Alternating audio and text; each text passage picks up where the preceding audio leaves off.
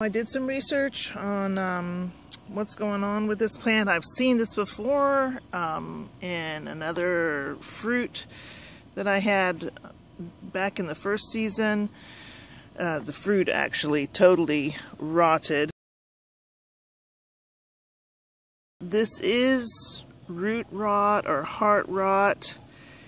It's a fungus uh, called Phytophthora, and I know I'm saying that wrong. I'll put a link in the show notes below. Check them out. Plant Village. They said if it's easy to remove the plant from the ground, it's kind of like contagious. This bacteria, fungus. Um, there's a problem with the soil though it's not mealybugs. I, um, I did discover that. I thought originally it was mealybugs. It's just the fungus is in there and you will just reintroduce it to all the plants. This plant right next to this looks healthy. Green. Don't see any signs really of that going on. But then these here are turning yellow. I'm going to leave those go. See what happens with them. If they're pretty firmly into the ground. They're not yielding, and that's what they said to do, to test it by pulling on it.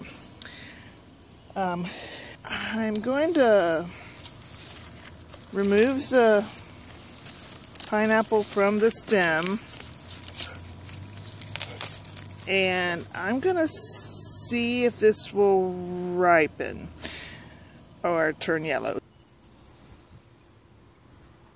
Then I'm going to cut it open and see what's going on on the inside. I mean, the fruit might be okay on the inside since I got it off of the stem rather quickly.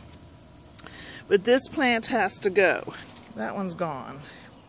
I'm going to let this um,